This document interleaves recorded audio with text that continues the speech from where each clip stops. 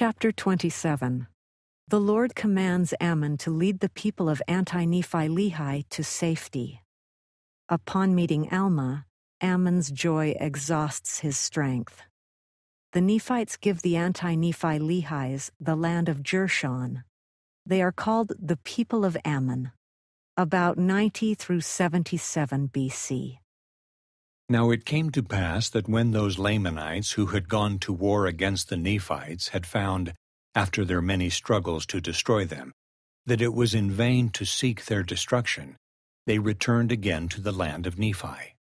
And it came to pass that the Amalekites, because of their loss, were exceedingly angry, and when they saw that they could not seek revenge from the Nephites, they began to stir up the people in anger against their brethren, the people of Anti-Nephi Lehi, Therefore they began again to destroy them. Now this people again refused to take their arms, and they suffered themselves to be slain according to the desires of their enemies. Now when Ammon and his brethren saw this work of destruction among those whom they so dearly beloved, and among those who had so dearly beloved them, for they were treated as though they were angels sent from God, to save them from everlasting destruction. Therefore, when Ammon and his brethren saw this great work of destruction, they were moved with compassion, and they said unto the king, Let us gather together this people of the Lord, and let us go down to the land of Zarahemla, to our brethren the Nephites, and flee out of the hands of our enemies, that we be not destroyed. But the king said unto them, Behold, the Nephites will destroy us, because of the many murders and sins we have committed against them. And Ammon said, I will go and inquire of the Lord, and if he say unto us, Go down unto our brethren, will ye go? And the king said unto him, Yea, if the Lord saith unto us, Go, we will go down unto our brethren, and we will be their slaves until we repair unto them the many murders and sins which we have committed against them. But Ammon said unto him, It is against the law of our brethren, which was established by my father, that there should be any slaves among them. Therefore let us go down and rely upon the mercies of our brethren. But the king said unto him, Inquire of the Lord, and if he saith unto us, Go, we will go. Otherwise we will perish in the land. And it came to pass that Ammon went and inquired of the Lord. And the Lord said unto him, Get this people out of this land, that they perish not. For Satan has great hold on the hearts of the Amalekites, who do stir up the Lamanites to anger against their brethren, to slay them. Therefore get thee out of this land, and blessed are this people in this generation, for I will preserve them. And now it came to pass that Ammon went and told the king all the words which the Lord had said unto him. And they gathered together all their people, yea, all the people of the Lord, and did gather together all their flocks and herds, and departed out of the land and came into the wilderness which divided the land of Nephi from the land of Zarahemla, and came over near the borders of the land. And it came to pass that Ammon said unto them, Behold, I and my brethren will go forth into the land of Zarahemla, and ye shall remain here until we return.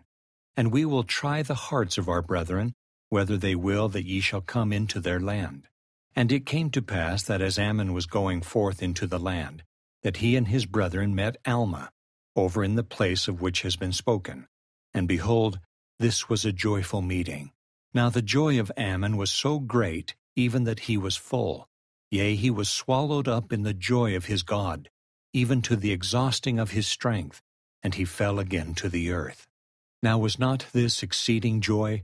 Behold, this is joy which none receiveth, save it be the truly penitent and humble seeker of happiness. Now the joy of Alma in meeting his brethren was truly great, and also the joy of Aaron, of Omner, and Himni. But behold, their joy was not that to exceed their strength. And now it came to pass that Alma conducted his brethren back to the land of Zarahemla, even to his own house. And they went and told the chief judge all the things that had happened unto them in the land of Nephi, among their brethren the Lamanites.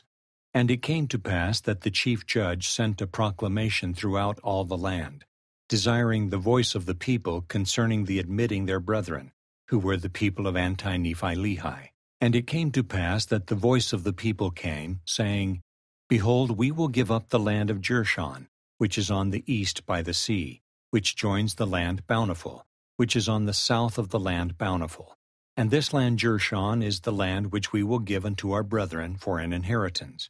And behold, we will set our armies between the land Jershon and the land Nephi, that we may protect our brethren in the land Jershon. And this we do for our brethren, on account of their fear to take up arms against their brethren, lest they should commit sin. And this their great fear came because of their sore repentance, which they had on account of their many murders and their awful wickedness. And now, behold, this will we do unto our brethren, that they may inherit the land Jershon. And we will guard them from their enemies with our armies, on condition that they will give us a portion of their substance to assist us, that we may maintain our armies. Now it came to pass that when Ammon had heard this, he returned to the people of Anti-Nephi-Lehi, and also Alma with him, into the wilderness, where they had pitched their tents, and made known unto them all these things. And Alma also related unto them his conversion, with Ammon and Aaron and his brethren. And it came to pass that it did cause great joy among them. And they went down into the land of Jershon, and took possession of the land of Jershon. And they were called by the Nephites the people of Ammon. Therefore they were distinguished by that name ever after. And they were among the people of Nephi, and also numbered among the people who were of the church of God. And they were also distinguished for their zeal towards God, and also towards men. For they were perfectly honest and upright in all things, and they were firm in the faith of Christ, even unto the end. And they did look upon shedding the blood of their brethren with the greatest abhorrence, and they never could be prevailed upon to take up arms against their brethren, and they never did look upon death with any degree of terror, for their hope and views of Christ and the resurrection. Therefore death was swallowed up to them by the victory of Christ over it. Therefore they would suffer death in the most aggravating and distressing manner which could be inflicted by their brethren, before they would take the sword or scimitar to smite them. And thus they were a zealous and beloved people, a highly favored people of the Lord.